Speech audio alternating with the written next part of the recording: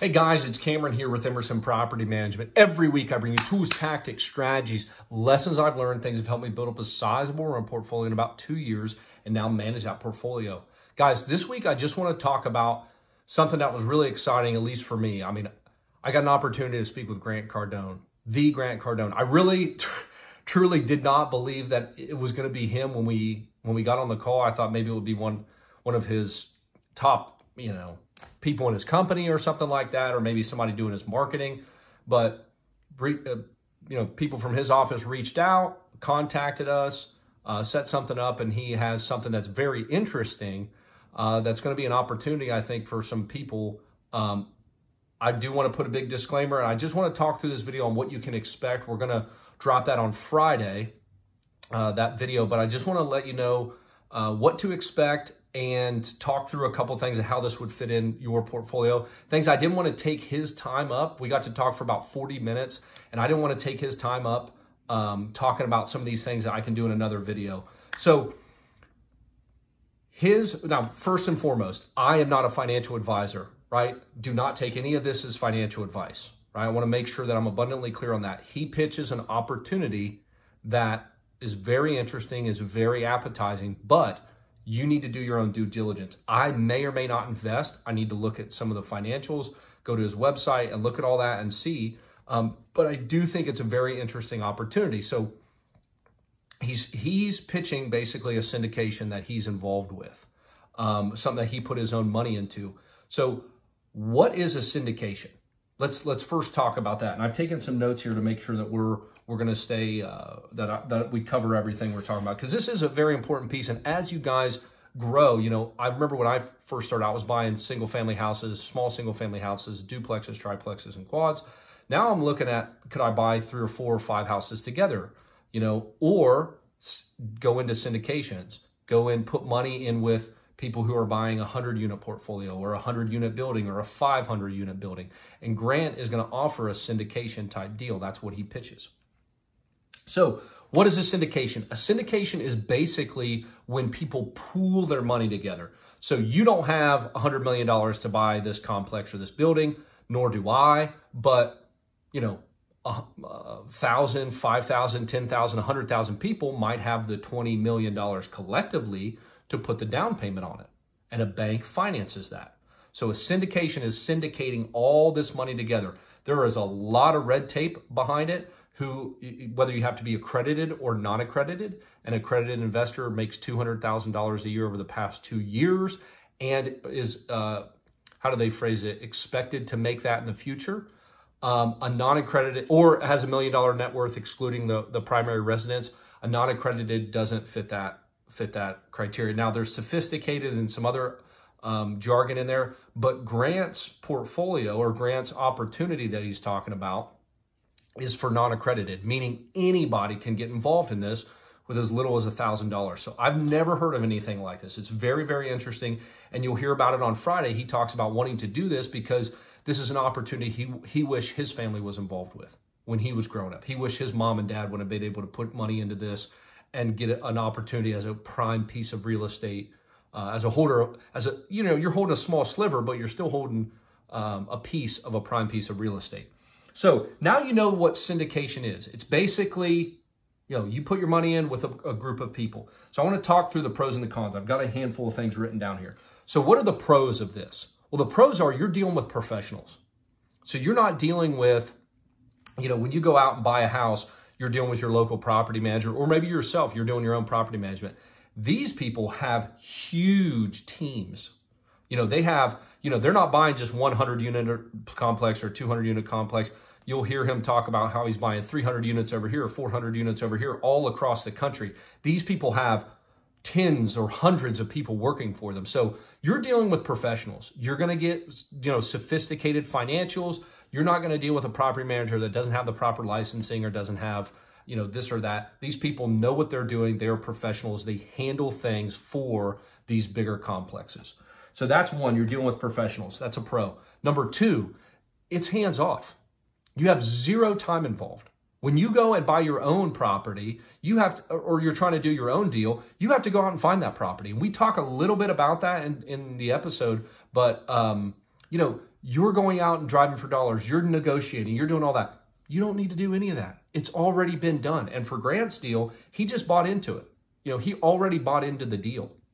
So he financed it with a lot of his own money, and now he's looking to to to raise some more. So um, you get you get this no time involved. Uh, not no time, but you know what I mean? You just put money in. The, the work is being done by all these other people, the syndicators and everybody else.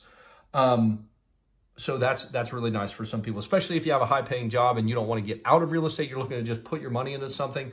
This is a great opportunity. The other and probably the most important thing, and Grant talks about this a lot throughout the episode, is access to bigger deals. So you or me can't go and buy a 10, 20, 30 million dollar building. You just can't do it. Uh, and even Grant says that this deal is so big that typically BlackRock, AIG, these huge institutions are the one buying these. So it's not just, you know, you or me or, you know, even a group of investors or local investors can't do this. You're talking about millions, tens of millions of dollars. So this is reserved for like the sophisticated, sophisticated folks.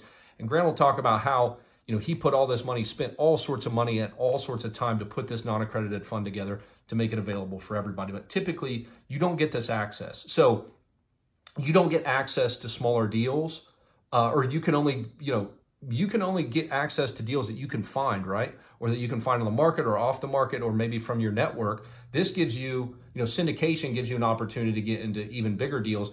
And Grant Cardone level syndication gets you an opportunity to get into even crazier deals. So um, those are the three biggest things. Um, and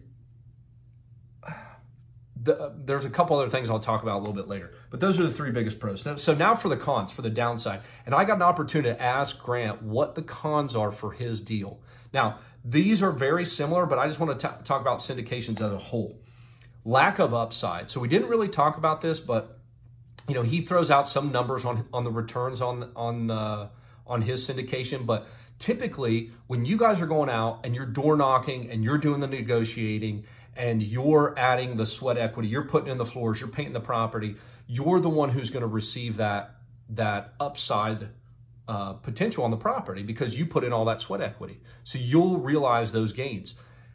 In in a syndication, you don't get that. All the syndicators have to get paid. Everybody who's involved is getting paid. So you're not getting a you know, whereas you might have a single family house that you're managing, you'll get that full 20, 30, 40% return, but you don't have it, you only have to feed your mouth. You don't have to feed everybody else. Whereas a syndication might make 20, 30, 40%, but they've got to pay the syndicators, they've got to pay the property managers, they got to pay everybody else who put it together and all the lawyers and blah, blah, blah. So the return is typically smaller. Now, usually I say, but there are opportunities where you find these these diamonds in the rough or get some AAA class property, which is kind of like what Grant talks about. Well, it is what Grant talks about, his property in, in uh, Fort Lauderdale. So there's typically, the con is you typically uh, don't get as much upside as you would in a single family, but you know, you, that's not always true. There are opportunities where you buy into um, a syndication and you have huge upside because you got into a great deal. Something that he talks about, um, another con, is it's illiquid. So this is, I don't care what kind of syndication you're in, you get into a syndication and you, your money's gone. I'm not gone, but you you put your money in and it's in there for three to five years, seven years, whatever. You have absolutely no say in when you get your money back. And he talks about the, the couple different options to exit that property. But this isn't this isn't atypical. All syndications are like this. You put your money in, you're leaving the control up to these people, uh, the professionals, and then they'll they'll return your money supposedly you know, most syndicators, there are some good and bad, just like everybody, but most syndicators say they're working for the investors. So they're doing it for, for you guys. Um, and this kind of ties into that illiquid pieces. There's no control.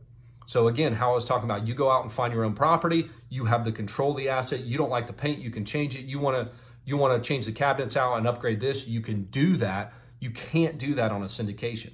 You can put your two cents in, but whoever's operating that property, and you're you're relying on them to be the professional, but whoever's operating that you hope they have the expertise to make those decisions for you. So you don't have any control unless you have a huge portion of it, which typically you don't, or you'd be doing this yourself. So you don't have any control of the asset. You don't know when they're going to sell, when they're going to uh, refinance, whatever is going to happen, distributions, this and that. You don't have any control over that. Whereas you can say on your own property, hey, I want the roof, I'm going to replace the roof next year. I'll start saving up some cash. You don't have that luxury. They'll probably tell you that stuff, but again, you just don't have that level of control and not, that's not always necessarily a bad thing. I've seen so many people go above and beyond doing stupid things, over improving their property, and they don't need to. You know, they're, they're putting the nicest this and the nicest that, and the property's sitting in a B class neighborhood. So having that professional management or having those professional people around will prevent you from making those stupid mistakes. So how we talked about what a, what a syndication is, uh, pros and cons of it. Um, now, how does this fit in your portfolio? As you and me, as normal everyday investors, how does how do syndications fit in fit in your portfolio? So you guys have probably heard about all these, you know, like Robinhood has some some REITs that they have available. There's um, all these sort of online uh, real estate investment trusts that they offer. I can't even remember the names because I hear them so frequently. I just hear all, all of them. They they promise 8, 10, 12% returns. So where do these syndications, and that's what they're doing, right? They pool people's money together and they buy assets with them. Where do these fit into your portfolio? That is going to be totally up to you and your discretion. If you, when I started, I wanted to put in the sweat equity. I was hitting the pavement. I was negotiating deals. I was going down, meeting with contractors and talking to tenants, leasing the properties. I was doing all that. Now I'm, I, I don't do as much, right? I've got two people that work for me full time, and we're we're working um, on building a team together. So my owners don't have to do that; they hand it over to a property manager. So this is the same thing. You're losing a little bit of control and upside, but you're just putting money at it. You know, you just you invest. So if you're a professional who doesn't want to leave your day job, you can either buy single family homes all over the country or, or in one area, hand it over to a property manager. You have you know, very little time involved. Or you can turn it over and, and buy syndications and get bigger properties, bigger deals, bigger access. Those are kind of the differences. And that's all going to be dependent upon your portfolio, right? So when you own a 300 unit complex, that gives you a little bit more diversity than owning one single family house. I've said this time and time again. It is so much more risky to own one property than it is 5, 10, 15 because you spread your risk out. If you have one property and that property goes vacant, 100% of your rents are gone. If you have 10 and one property goes vacant, that's only 10% of your rents. So when you have 100 or 1,000 units, or like Grant talks about, he's got 12,000 units. I almost insulted him because I said, what do you have, five, 6,000 units? It was, I was almost half of what he was talking about, less than half. I was at like a third.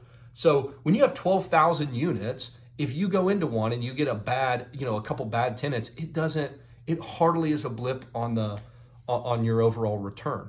So keep that in mind.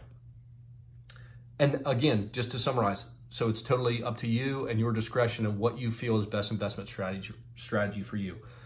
The last thing I'll say is just how that differs from a normal investment. So we've talked about what a syndication is, pros and cons, you know, you know, whether you should get into it or not, it's totally up to your discretion. And a normal investment, guys, you just have so much more control. I've mentioned this throughout this whole this whole uh, video.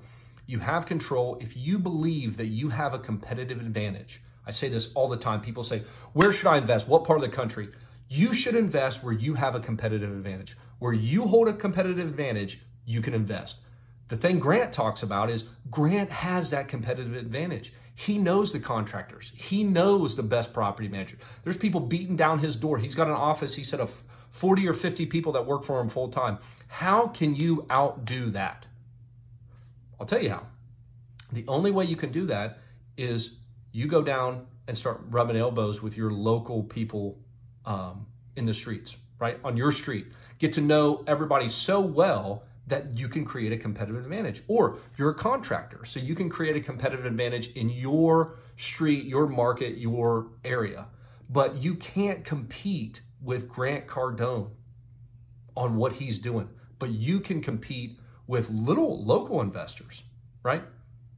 You can compete knowing your market. Grant Cardone doesn't know your subdivision. He has no idea what it is. But you can know it. So that means that you can know it better than him. Now, is that good? Do you want to spend a bunch of time learning your market? and hitting the pavement and doing that and putting that time involved, that's something that you have to decide. It was my decision, something that I wanted to do because I was young. I was 23, 24 years old, right? I had the time. I put in the time and energy to build that. You can skip that by going into syndications. You can just jump all those learnings and go right into the syndication, let the experts handle it.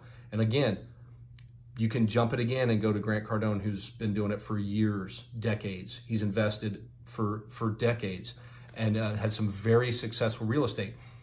Something we talk about a little bit, I just want to highlight here, the last piece. We talked about the average return in the country on, for real estate over the past year. You saw 20%, right? Oh my God, real estate's up 20%. It's not 20% everywhere. That doesn't mean all the Midwest cities saw 20% growth.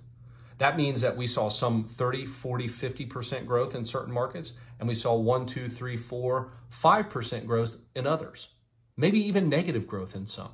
So, those areas that you saw high growth were typically these hot markets like Miami, like some places in California, the Austin, Texas of the world, the Houston, Texases, the Nashvilles. Those are the areas that Grant's buying property. Now, I just want to say again, I don't know if I'm going to put any money into his deal. I don't know that. But he talks a lot about the advantages of it. It's something that you're going to have to decide for yourself. I just uh, thought it was a great opportunity to talk to Grant, and he was so gracious. I mean, he was just, he's a great guy. We talked a little bit off camera. He's fantastic. We, we spent almost, like I said, almost 40 minutes talking. And, um, you know, I really have a lot of respect for the guy if you want to invest, that's something that you're going to need to decide. Watch the video. He talks a lot about the, his property, the properties in, in, in Fort Lauderdale, um, and make that decision for yourself. Don't let me make that decision. Don't um, let somebody else tell you what to do. If that fits for you, and I think I've explained the pros and cons of syndication and working with Grant and doing that, I, I've explained the pros and cons, but it's got to be you at the end of the day. You have to make the decision. So I hope that was helpful. Guys, this, uh, I'm just so excited. You can tell when you guys watched the video on Friday, I was so nervous because I could not believe it was Grant Cardone. So bear with me. I'll probably get giggly and, and whatnot. I was fanboying a little bit, but it was such a good opportunity. I hope you guys like that video and uh, let me know. Comment below, share if you guys like it. It will really help me out. And um, I'll see you all next week or I'll see you all on Friday with Grant Cardone. Cheers.